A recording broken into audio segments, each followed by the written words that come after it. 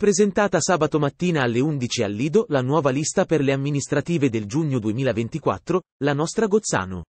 Al timone l'architetto Carla Biscuola, già sindaco del comune cusiano dal 2009 al 2019.